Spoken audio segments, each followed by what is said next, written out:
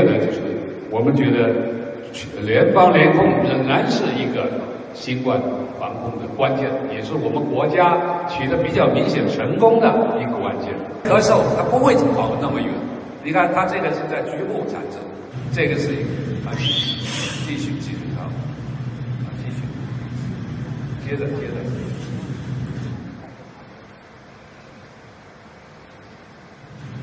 这个是戴 N 九十五口罩，大家看看会是怎么样的？